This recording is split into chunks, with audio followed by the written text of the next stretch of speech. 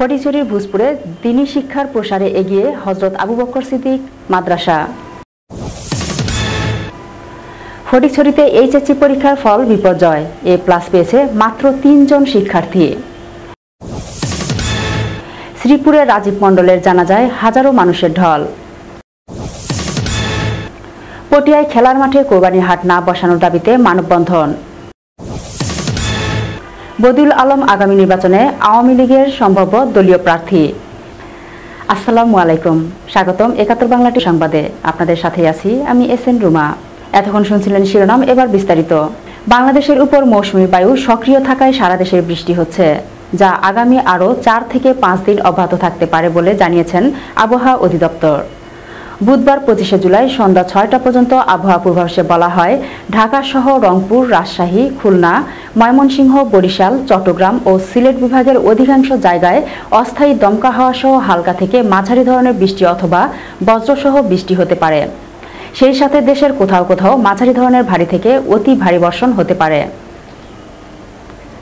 ফটিকছড়ি উপজেলার ভূজপুরে অবস্থিত হজরত আবু বকর সিদ্দিক রাদিয়াল্লাহু মাদ্রাসা উত্তর ফটিকছড়িতে দিনী শিক্ষার প্রসারে গুরুত্বপূর্ণ ভূমিকা পালন করে যাচ্ছে। এতে মাদ্রাসার পাশাপাশি রয়েছে হেফজখানা ও এতিমখানা।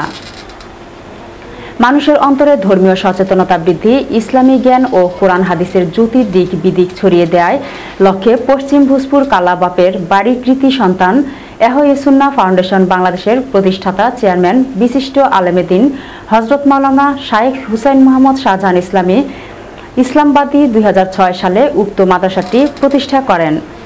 প্রতিষ্ঠার পর থেকে মাদ্রাসাটি অদ্যবধি সফলতা ও সুনামের সাথে পরিচালিত হয়ে আসছে।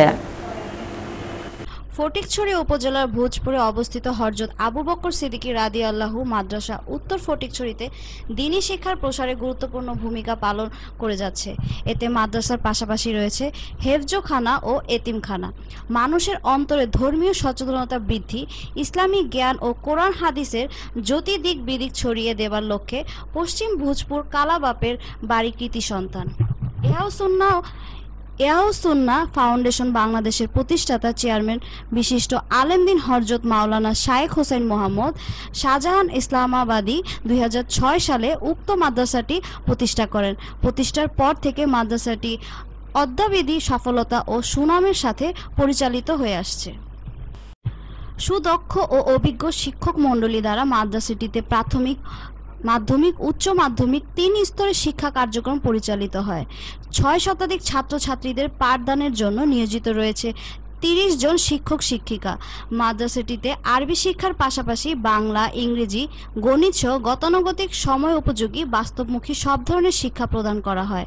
এগুলোর মধ্যে নুরানি ও শিশু নিকেতন ও এগুলোর মধ্যে নোরানি ও শিশু নিকেতন বিভাগ, আরবি সাহিত্য বিভাগ, হিফজ বিভাগ, কাওয়ামি মাদ্রাসার সিলেবাস অনুযায়ী কিতাব বিভাগ, শর্ট কোর্স, মুতাফারাক্কা বিভাগ, মহিলা হিফজ বিভাগ, কম্পিউটার বিভাগ, এতিম বিভাগ, সেলাই প্রশিক্ষণ বিভাগ সহ এতিম মিসকিন শিক্ষার্থীদের জ্ঞান রয়েছে। শিক্ষার্থীদের জন্য রয়েছে ফ্রি হেলথ সেন্টার মাদ্রাসাটিতে মাদ্রাসাটিতে আবাসিক ও অনাবাসিক পঞ্চাশ জন এতিম ও একশো জন মিসকিন ছাত্র রয়েছে।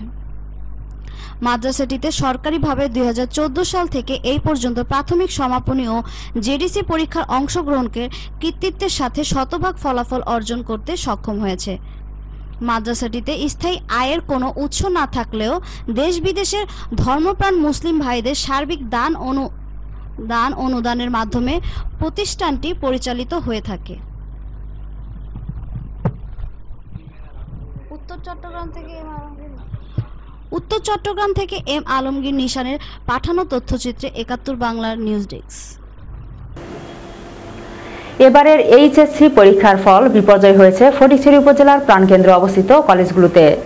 গত উনিশে জুলাই প্রকাশিত উচ্চ মাধ্যমিক সার্টিফিকেট এইচএসসি পরীক্ষার ফলাফলে ফটিকছড়ি আট কলেজের গড় পাশের হার ছিল চুয়ান্ন দশমিক উনত্রিশ শতাংশ যা চট্টগ্রাম বোর্ড থেকে আট দশমিক একাত্তর শতাংশ কম।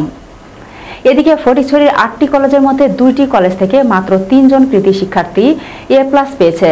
তার মধ্যে চুয়ান্ন শতাংশ পাশ করে ফলাফলে চতুর্থ স্থানে থাকা নানুপুর লাইলা কবির ডিগ্রি কলেজ থেকে দুইজন এবং আটচল্লিশ দশমিক একান্ন শতাংশ পাশ করে পঞ্চম স্থানে থাকা ফটিকছড়ি বিদ্যালয়ের কলেজ থেকে একজন। এবারের ফলাফল পূর্ব Dhalai Khadija Malik school and college পঁচাশি দশমিক একাত্তর শতাংশ পরীক্ষার্থীর পাশ করে প্রথম স্থানে থাকলেও শুধুমাত্র তেত্রিশ দশমিক পঁচাশি শতাংশ পরীক্ষার্থী পাশ করে ফলাফলের সর্বশেষ স্থানে রয়েছে Gultas memorial school and college. এবারে এইচএসসি পরীক্ষার ফল বিপর্যয় হয়েছে ফটিকছড়ি উপজেলার প্রাণকেন্দ্রে অবস্থিত কলেজগুলোতে।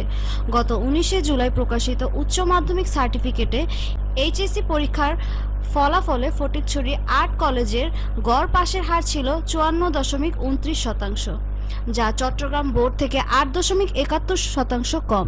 এদিকে ফটিকছড়ি আটটি কলেজের মধ্যে দুইটি কলেজ থেকে মাত্র তিনজন কৃতি শিক্ষার্থী এ প্লাস পেয়েছে। তার মধ্যে চুয়ান্ন শতাংশ পাশ করে ফলাফলে চতুর্থ স্থানে থাকা নানপুর লায়লা কবির ডিগ্রি কলেজ থেকে দুইজনের দুইজন এবং আটচল্লিশ দশমিক একান্ন শতাংশ পাশ করে পঞ্চম স্থানে থাকা ফটিকছড়ি বিশ্ববিদ্যালয় কলেজ থেকে একজন। এবারের ফলাফলে পূর্ব ধোলাই, এবারের এবারের ফলাফলে পূর্ব Dhouli Khadija Malik school and college পঁচাশি দশমিক একাত্তর শতাংশ পরীক্ষার্থী পাশ করে প্রথম স্থানে থাকলেও শুধুমাত্র তেত্রিশ দশমিক পঁচাশি শতাংশ পরীক্ষার্থী পাশ করে ফলাফলের সর্বশেষ স্থানে রয়েছে Gultaj memorial school and college. সত্তর দশমিক ছিয়াশি শতাংশ পাশ করে দ্বিতীয় স্থানে রয়েছে হেয়াকো বনানী ডিগ্রি কলেজ। সাতান্ন দশমিক চোদ্দ শতাংশ পাশ করে তৃতীয় স্থানে রয়েছে বিএমসি ডিগ্রি কলেজ। এছাড়াও নারায়ণহাট আদর্শ কলেজ ষষ্ঠ স্থানে এবং Bhojpur national school and college সপ্তম স্থানে রয়েছে। এদিকে ফটিকছড়ি সদর ও ভোজপুরের প্রাণকেন্দ্রে অবস্থিত ফটিকছড়ি বিশ্ববিদ্যালয় college O Bhojpur national school and college ফলাফলে অনেকটা পিছিয়ে রয়েছে। ফটিকছড়ি উপজেলার কলেজগুলো এইচএসসি পরীক্ষার কাঙ্ক্ষিত ফলাফল অর্জন করতে না পারায় অভিভাবক মহলে চরম ক্ষোভের সৃষ্টি হয়েছে। তারা বলেন এইচএসসির মতো গুরুত্বপূর্ণ একটি পরীক্ষার এমন ফলাফল কোনো মতেই মানা যায় না। এজন্য তারা কলেজের শিক্ষকদের ও ছাত্র ছাত্র রাজনীতিকে দায়ী করেন। উত্তর চট্টগ্রাম থেকে এম আলমগীর নিশানের পাঠানো তথ্যচিত্রে একাত্তর বাংলার নিউজ ডেস্ক। গাজীপুরের শ্রীপুর ডিগ্রি কলেজের ছাত্রদলের সাধারণ সম্পাদক মোহাম্মদ রাজীব মণ্ডল একুশে জুলাই রাতে ঢাকার একটি হাসপাতালে হৃদরোগে আক্রান্ত হয়ে মৃত্যুবরণ করেন। ইন্নালিল্লাহে ওয়া ইন্নাল্লাহে রাজিউন। নিহত রাজীব মণ্ডলের বাড়ি পৌরসভার দুই নং ওয়ার্ড। বাইশে জুলাই বাদাসর শ্রীপুর পাইলট উচ্চ বিদ্যালয় মাঠে তার নামাজের জানাজা অনুষ্ঠিত হয়। জানা যায়, হাজারো মানুষের উপস্থিতি লক্ষ্য করা যায়। গাজীপুরের শ্রীপুর ডিগ্রি কলেজে ছাত্রদলের সাধারণ সম্পাদক মোহাম্মদ রাজীব মণ্ডল একুশ জুলাই রাতে ঢাকার একটি হাসপাতালে হৃদরোগে আক্রান্ত হয়ে মৃত্যুবরণ করেন। ইন্না লিল্লাহি ইন্না ইলাহি রাজিউন। নিহত রাজীব মণ্ডলের বাড়ি পৌরসভার দুই নং ওয়ার্ড। বাইশ জুলাই বাদ আসর শ্রীপুর পাইলট উচ্চ বিদ্যালয় মাঠে তার নামাজের জানাজা অনুষ্ঠিত হয়। জানা যায় হাজারো মানুষের উপস্থিতি লক্ষ্য করা যায়। এ সময় তার জানাজায় উপস্থিত ছিলেন বিএনপি কেন্দ্রীয় সহ স্বাস্থ্য বিষয়ক সম্পাদক ও র্যাবের যুগ্ম মহাসচিব ডক্টর রফিকুল ইসলাম বাচ্চু, শ্রীপুর উপজেলার সাবেক ওলামা দলের সভাপতি এস এম রুহুল আমিন, শ্রীপুর উপজেলা বিএনপির সভাপতি শাহজাহান ফকির, সাধারণ সম্পাদক বীর মুক্তিযোদ্ধা ফজলুল হক, সাবেক সভাপতি আলহাজ সিরাজ উদ্দিন কায়া, আব্দুল মোতালেব, ছাত্রদল সভাপতি সাইফুল হক মোল্লা, সাধারণ সম্পাদক নজরুল ছাত্রনেতা রাসেল সরকার সহ বিভিন্ন ইউনিয়নের বিএনপি অঙ্গ সংগঠনের নেতাকর্মীরা জানাজা অংশগ্রহণ করে গভীর শোক প্রকাশ করেন।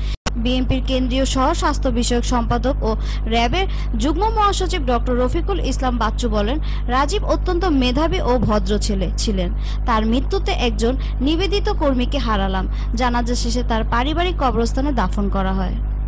গাজীপুর, শ্রীপুর থেকে আলফাজ সরকার আকাশের পাঠানো তথ্যচিত্রে একাত্তর বাংলা নিউজ ডেস্ক। পটিয়ায় আদর্শ উচ্চ বিদ্যালয় মাঠে আসন্ন কোরবানি গরু ছাগলের বাজার না বসানোর দাবিতে আজ বিকেলে সর্বস্তরের ক্রীড়া সংগঠন, ক্রীড়াবিদ ও খেলোয়াড়দের যৌথ উদ্যোগে এক মানববন্ধন কর্মসূচি পালন করা হয়েছে। পটিয়া আদর্শ উচ্চ বিদ্যালয় মাঠে আসন্ন কোরবানি গরু ছাগলের বাজার না বসানোর দাবিতে আজ বিকেলে সর্বস্তরের ক্রীড়া সংগঠন, ক্রীড়াবিদ ও খেলোয়াড়দের যৌথ উদ্যোগে এক মানববন্ধন কর্মসূচি পালন করা হয়েছে। পটিয়া সরকারি কলেজ গেটে আয়োজিত এই মানববন্ধনে বক্তব্য রাখেন খেলোয়াড় সমিতির সভাপতি নাসির উদ্দিন, পুলক চৌধুরী, জালাল উদ্দিন, নুরুল ইসলাম, আনোয়ার হোসেন, ক্রিকেট খেলোয়াড় সমিতির যুগ্ম আহ্বায়ক মোহাম্মদ হোসেন প্রমুখ। পরে এতে সংহতি প্রকাশ করে বক্তব্য রাখেন পটিয়া উপজেলা ক্রীড়া সংস্থার সাধারণ সম্পাদক ইঞ্জিনিয়ার জসিমউদ্দিন। এই সময় তিনি বলেন, পটিয়া সাংসদ আলহাদ শামসুল হক চৌধুরী এবং ইউএনও রাসিদুল কাদের ও পৌর মেয়র অধ্যাপক হারুনা রশিদ সাথে আলোচনা করে ঐতিহ্যবাহী এ খেলার মাঠে যাতে কোরবানির বাজারের কারণে নষ্ট না হয়, সে ব্যবস্থা নেওয়া হবে। পটিয়া, চট্টগ্রাম থেকে আব্দুল হাকিম রানার পাঠানো তথ্যচিত্রে Ekattor Bangla news desk. Bengali beauty দুই তরুণ তরুণী নির্ভেজাল ভালোবাসার গল্পের আদলে মোড়ানো বাংলাদেশের জন্মের পরবর্তী সময়ের খেরো খাতা যেন এই ছবিটি। সিনেমাটি দেখতে শুরু করলে মনে হবে ক্লাসিক কোনো সিনেমা দেখতে বসেছি। পার্লামেন্টে বক্তৃতা দিচ্ছেন বঙ্গবন্ধু শেখ মুজিবুর রহমান। ডকুমেন্টারি মনে হবে না মোটেও, কারণ নিখাত প্রেমের গল্প বোনা শুরু হয়ে গেছে ততক্ষণে। প্রথমে জেনে নেওয়া যাক ছবিটির কলা কুশলীদের প্রসঙ্গে। ছবিটির গল্প, চিত্রনাট্য ও সংলাপ রচনা করার পাশাপাশি ছবিটি পরিচালনা করেছেন প্রবাসী বাংলাদেশি রাহসান্নুর নিজেই। তার বিপরীতে অভিনয় করেছেন এই সময়ের জনপ্রিয় অভিনেত্রী ও মডেল টয়া। এই ছিল এখনকার মতো পরবর্তী সংবাদ দেখার আমন্ত্রণ রইল। তবে যাবার আগে শিরোনামগুলো আরেকবার। বাংলাদেশের উপর মৌসুমী বায়ু সক্রিয় থাকায় সারা দেশে বৃষ্টি হচ্ছে। আরও পাঁচ দিন অব্যাহত থাকতে পারে। ফটিছড়ির ভূজপুরে দিনী শিক্ষার প্রসারে এগিয়ে হজরত আবু বকর সিদ্দিক মাদ্রাসা। ফটিকছড়িতে এইচএসসি পরীক্ষার ফল বিপর্যয়। এ প্লাস পেয়েছে মাত্র তিনজন শিক্ষার্থী। শ্রীপুরে রাজীব মণ্ডলের জানাজায় হাজারো মানুষের ঢল। পটিয়ায় খেলার মাঠে কোরবানির হাট না বসানোর দাবিতে মানববন্ধন। বদিউল আলম আগামী নির্বাচনে আওয়ামী লীগের সম্ভাব্য দলীয় প্রার্থী। এছাড়াও দেশ বিদেশের সকল সংবাদ সবার আগে পেতে ফেসবুক পেজে থাকুন আমাদের সাথে লাইক দিন। www.facebook.com slash Ekattor Bangla dot TV dot BD subscribe করুন আমাদের ইউটিউব চ্যানেলে www.youtube.com slash Ekattor Bangla TV visit করুন www.একাত্তর বাংলা ডট টিভি এই ওয়েবসাইটে আমাদের সাথেই থাকুন।